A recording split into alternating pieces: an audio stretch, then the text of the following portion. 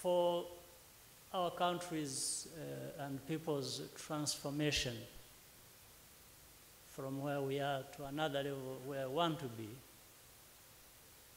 a number of things have to come into play. Even if when you talk about leadership, you are leading people to do something. So leadership is as important as the people led. In other words, I want to bring these people we are talking about to the forefront. What do we do with these people? How do we invest in them? And how do we invest with them?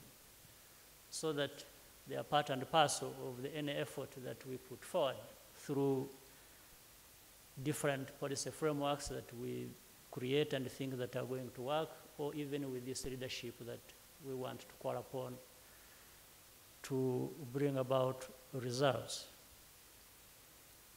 But let me also thank the people who have been behind these efforts to create this platform, which brings together almost all the stakeholders in this, which is governments, business leaders, uh, and, and others that can play that role to, for, for us to be able to move forward.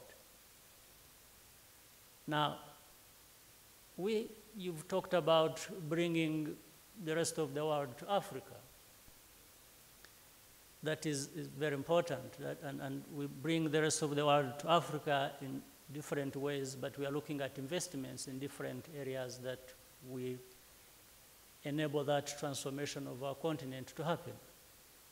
And one major and critical entry point is the agriculture that we, we are talking about today, for which you have different frameworks and efforts that have been going on, whether through CAADP and now uh, Grow Africa, that really reinforces it in a special way and that brings in uh, the kinds of investments that we, we, we, we seek to have, again, to move forward. Now, there are a number of players that have to play a critical role. Government and donors or development partners have their own way of making available the resources necessary. That's good. Donor government money is good.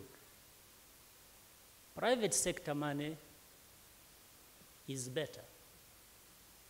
When these two come together, it's excellent. So we have to continue to work together, therefore, to make sure that these resources are found and they are brought to bear on the programs and the different policy frameworks that have been put in place for us to be able to move fo forward. And as we realized, the best entry po point for the transformation of Africa to fight poverty and create wealth is through agriculture because of the impact it has directly on millions of African families and people, directly. You can see it if everything is done right, you see the benefit in a very short time. And that's what has happened with the success, success stories you have had in the different countries of, of Africa, in Tanzania, in Ethiopia, in many other places beginning to show that this can happen. So with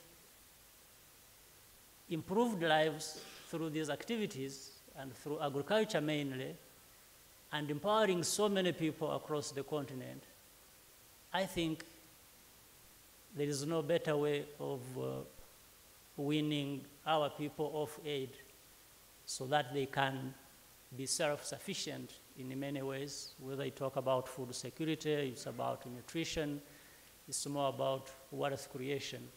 It empowers people to the point that uh, they don't have to be dependent all the time. You can be dependent for some time, but not forever on the rest of the world. And that is speaking to the issue of the youth. Uh, I think nothing is going to happen of all these things we are talking about uh, without people having to think through it and do something about it. But nothing should be taken for granted, which means there has got to be a lot of other work to be done. For the youth, even with all the problems our countries face, I think there is um, a level of political engagement that has to be done uh, to add to what President Kikwete was saying. If the youth are looking elsewhere other than, say, in agriculture, it's like they, it would happen in any other sector, maybe. So the level of mobilization and engagement, as we do for the whole population, to have them participate in all these activities, we have to be sensitive to some of these segments of our society and therefore try and do mobilization, carry out demonstrations of what, to show what we mean that would benefit them, that would also benefit the country and also create certain incentives as we do that. In fact, as we talk about the youth, again, some of the things, earlier on somebody talked about women, the women involvement, women's involvement in this.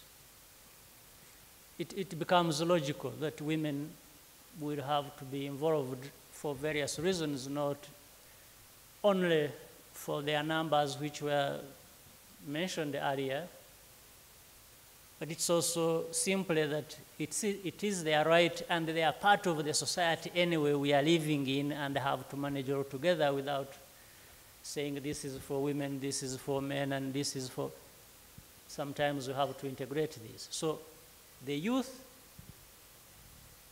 are like in some of our countries. In fact, we have uh, some people think it's a problem, maybe it is a challenge, but it carries with it a very huge opportunity. If you find the under 25 in our country are about 67% of our population, immediately it hits you like a big problem well, it is a big challenge, but it is actually a huge, it's more of an opportunity than a challenge. But you have, we have got to invest in them again with them, and also not leave things you know, for, for, to be taken for granted, but to mobilize them. And as we do it in one country, if there are success stories to talk about, then it should cross borders. We should share experiences as uh, the person who raised the question was talking about. And I think with this sharing of experiences, with opportunities available that we can support and in a coordinated way and in a way of mobilizing them to really be, to have an entrepreneurial mind and be problem solvers, I think the challenges that are there can be addressed and, and we, we can reap a lot from a big uh, population that is, is, is still very young.